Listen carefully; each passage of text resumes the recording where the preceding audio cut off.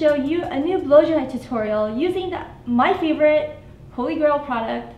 Well, it's not a product, it's actually like a hairbrush, but it's my favorite hairbrush. It's the Ibiza Z4 and the B7 brush. Enjoy! Okay, so I just got out of the shower, that's why my hair looks like this. Before getting out of the shower, I will show you what I did to it. I really do believe in prepping your hair before you blow dry or, or in general, like even if you were to do it natural, prepping is key. I'll show you what I did. I used the Wen cleansing conditioner to cleanse my hair with. Before I got out of the shower, rinsed it all out, did two pumps of the cleanser back in from the mid shaft to the ends, and worked whatever else I had remaining. So basically work it in, push it in, work it through, and then whatever remaining, I rake it through my roots. I never put product directly on my scalp. That's when your hair gets way down, it falls, and that's how you get oily and greasy. So it's a multi-purpose product. You cleanse your hair with it and then you use it as a leave-in as well. Right after I did that, I did the Wen styling cream. This protects your hair from the heat when you blow dry and it also eliminates the frizz. I did two pumps as well from the mid shaft to the ends and then whatever I have remaining, I raked it through. You mm. want to change the number of amounts of pumps depending on your hair length. When I do my hair natural, when I don't put any kind of heating elements to it, I add more. Prepping your hair is so key when you're doing any kind of styling. What I do after the cleanser as a leave-in, after the styling cream, I'll towel dry my hair for less than 30 seconds, and then I'll put my hair up in a scrunchie, do my face, meaning do my makeup, and then that's when I do my blow dry. This is the Wen Nourishing Mousse. I do about four to five pumps, again, depending on your hair length. So what I'll do first is squeeze it into my ends,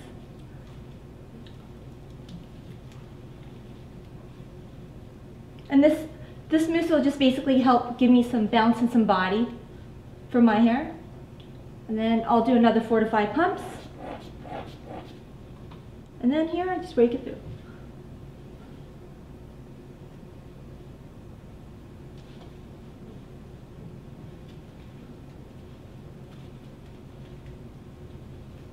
You see I never put my products directly on my scalp. That's how you get way down and that's how you get greasy. And for me, whenever I do my blow dries, like I'm gonna rock that for at least four to five days because especially with my length of hair, it gets very tiring.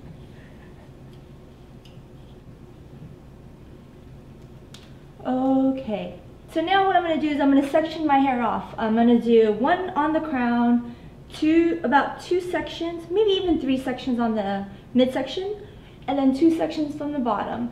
You're gonna need these duckbill clips. You get them anywhere. You can get them at Sally's, you could get it at any kind of beauty supply store. You can even get them at Target, I believe. I honestly feel when you're really new to blow drying your hair, working very neat is pretty key or else you'll get frustrated, then your hair will get caught everywhere and then you just wanna give up. But don't give up. The more you do it, the more practice you'll get and the faster you'll be. Taking the crown, sectioning it, I'm just doing twists.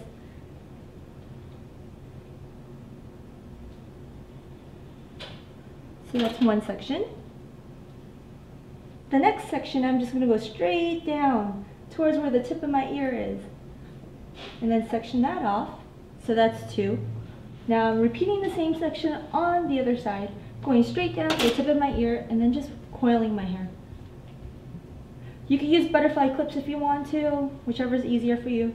I honestly just would recommend to do it as neat as possible because you will probably get frustrated and you'll just want to give up and I don't want you giving up. Go as neat as possible until you get the hang of it and then you can do whatever you want. Now from the tip of my ear back, I'm going to section that off.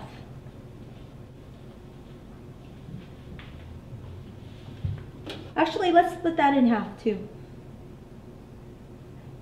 Once you start blow drying, you'll see the reason why and why this all makes sense. And then you'll thank me later. and it's funny because sectioning this, I know I'm going to repeat it, it seems like it takes a lot of time, but in the end, while you're blow drying, you have that heat and that brush in your hair, you're going to be happy that all of this is sectioned off.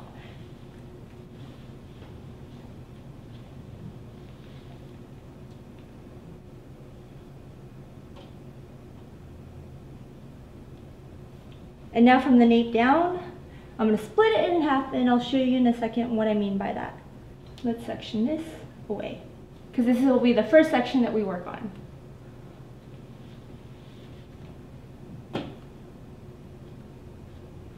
So basically, it should look like this.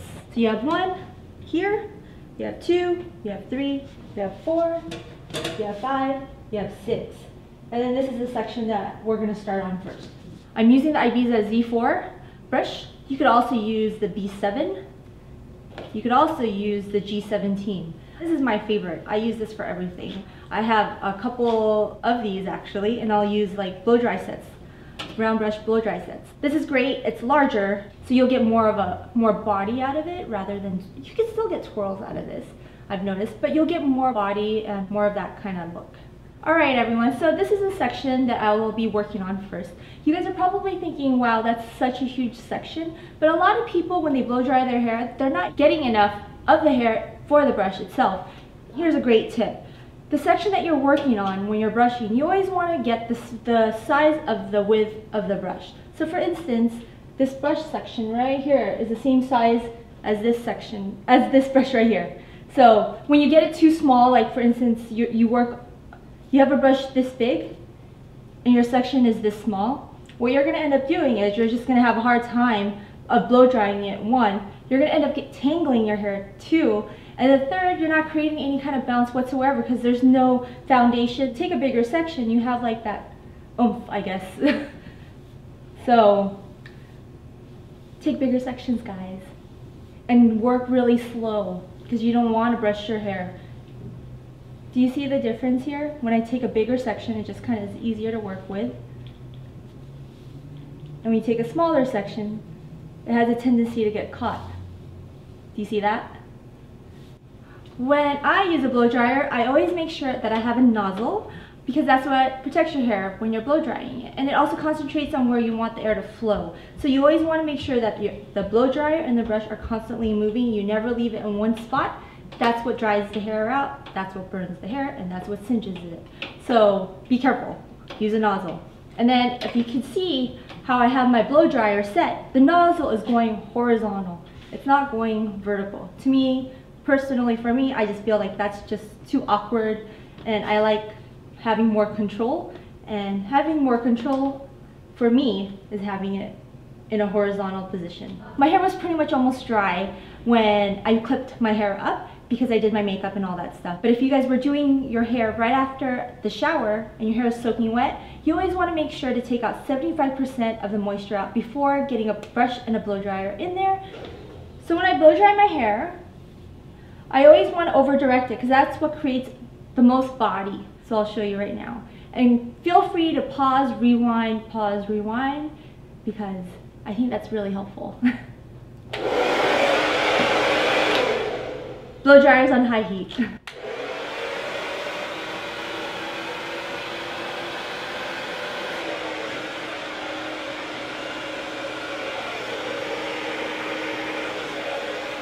Do you see that? Okay, I had tension. That's what helps your hair from tangling. And it also creates a lot of volume and it also seals the cuticle. Hold it in place, that is what locks in the curl.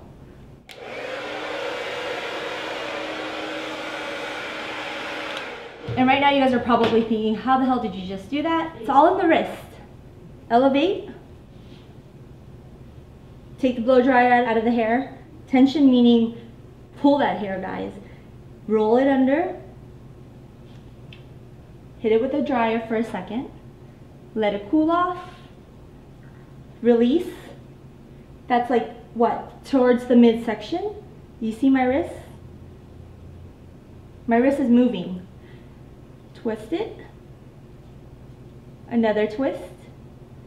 Thinking of going in circles with the brush. What is that? Kind of like a clock, counterclockwise, Jesse? And just let it fall, and you get this. But my ends aren't sealed yet, so let me do it one more time.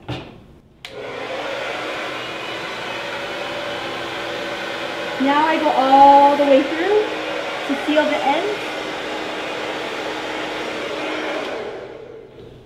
Hold it to lock in that body. Release, elevate up, twist, another twist, another twist, and release. Two rounds will go over, and then next round will go under. So I go underneath, let it roll in midsection, hit it for one second, let it roll. I'm not going all the way to the root this time because I'm creating more of a beachy wave. Twist it, and now I get the end, and I just let it, I just go straight up, straight out. Let me just repeat that to you just to make sure you guys got it. The first two rounds, I'm sealing the hair. I'm smoothing out the cuticle. Go, you over direct it. I'm not even touching the ends. I go underneath. I twist it out. Do that twice. The second round, I'm kind of, it's like in a diagonal back. My brush is basically in a diagonal position. I twist it in halfway, let it hit it for one second with that heat, hold it, twist it, and I just smooth it out, straight out, straight out, let it fall. And you create these, it's more of a looser, like beachy, kind of like the curling iron did it.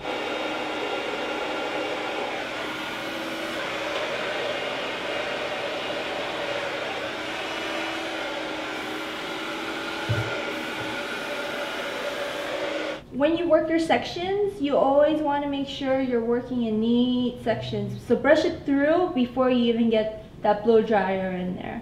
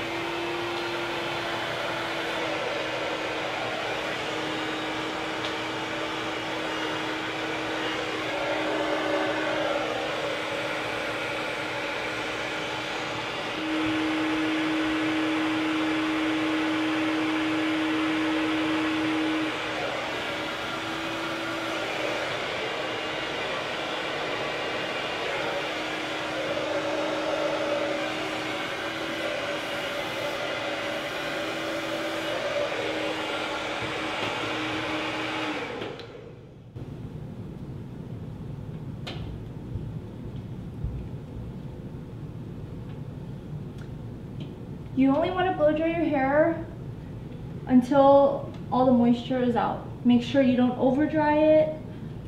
And you always want to make sure you have that tension in your hair when you're blow drying and smoothing it out because that's what seals the hair. It creates the shine and it also, when you elevate going out, that's what creates the body and that fullness. And holding it in for a second is what creates the curl. Think of it like having the hot, then all of a sudden with the cool, locks it in.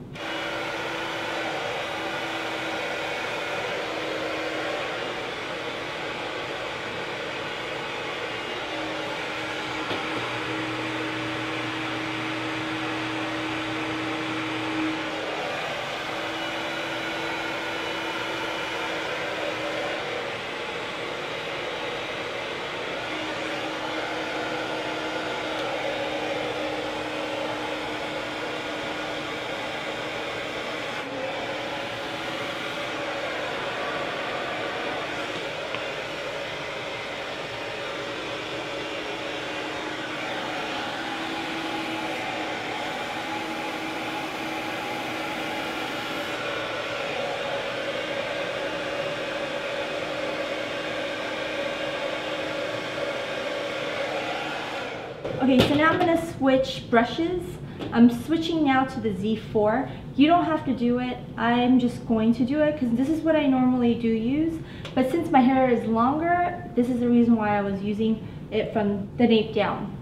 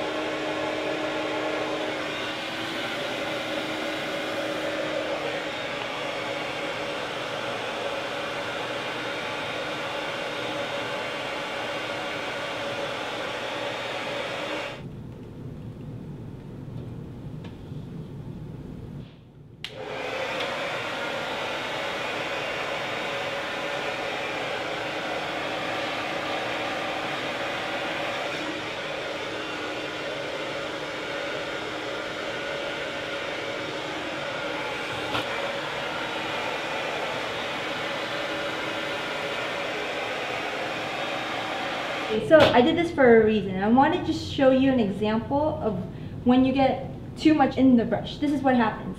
It becomes too messy. This is the part where you always want to be neat. And especially since I have layers, that's another reason why you want to split it up. So this part, I'm just going to split it into sections. Section that away. Width of the brush. This is what I mean by width of the brush. Do you see the width? Of my section. This is the same section as size of my brush.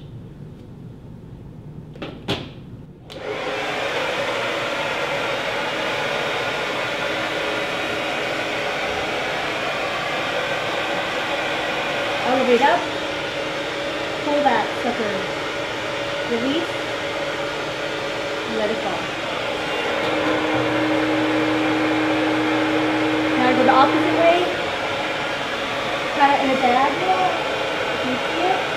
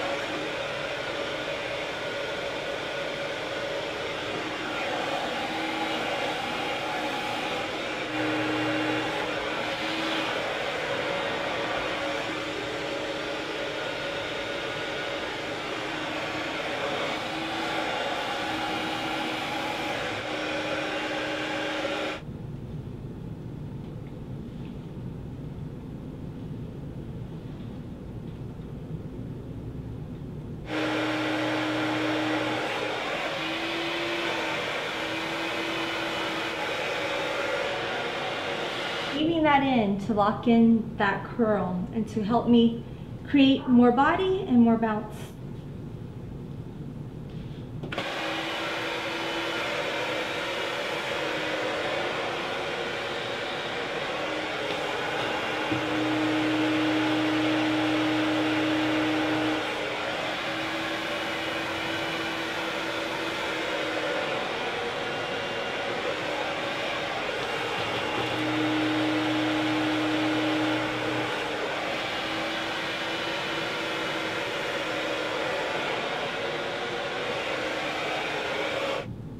Let's cool for a little bit.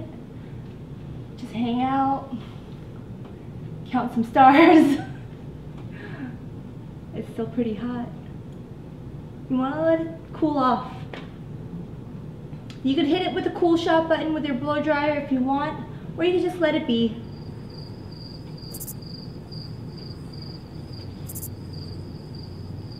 Okay, let's pull this one out.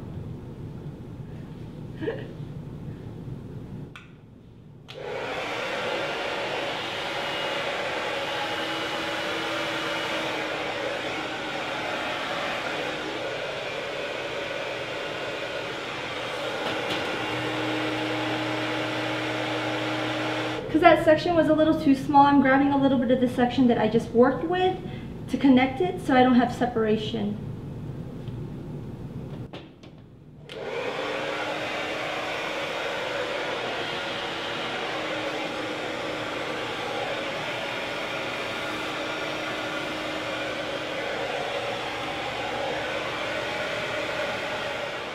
I wear my hair in the middle, so I'm gonna section it going over to the middle.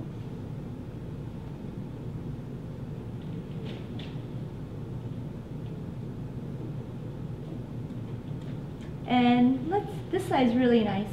Let's shape this side just so it kind of has more of that flow. So what I'll do is grab this section right here.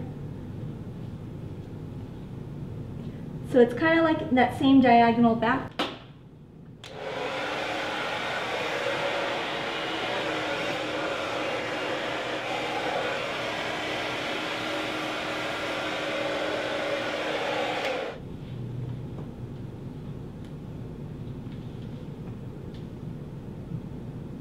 That's my round brush blow dry.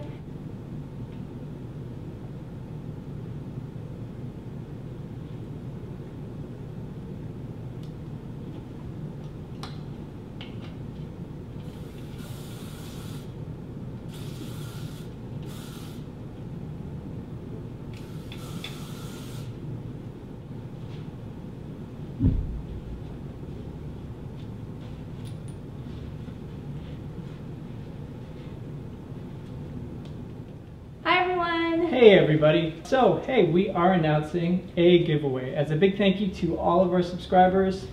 We're hiding it inside Anna's blow dry tutorial here. It's a little tie-in to this tutorial. You might be wondering, oh, what's it gonna be? You're like, why is she making this tutorial? It is, boom, Ibiza brushes. This is the prize. This is the grand prize here. We're doing three brushes, the Z4, the G17, and the B7. Yeah, I use these two brushes right here, and this is my favorite brush ever. Oh, Holy grail brush. it is. Uh, It and then, is. hey guys, I second place, we have a Z4 brush, which is pretty awesome as well. Yes. So all you need to do is be a subscriber. So subscribe if you're not subscribed. Like the video, that'd be awesome. And leave a comment down below. We're gonna pick the winners from the comments. Yes. So I guess we'll make this open to everybody. Uh, I guess. Yeah. Hopefully someone from really far away doesn't win it. Just kidding. uh, well, how much would that be, like shipping? I don't know. Oh, it's okay. We'll It's okay. we'll take care of it. Oh yeah. Um, so, like, oh, crap, uh, and again, thank you to all of our new subscribers. And our old too. And our old from the beginning. You Uh, guys are. you guys are all new subscribers to us because just a little while ago we had pretty much almost no subscribers. Yeah. So, yeah. So thank you. Thank you very much, and let's let Anna get on with the hair tutorial. I think I was I was pretty much done. though. I don't know. Bye everyone.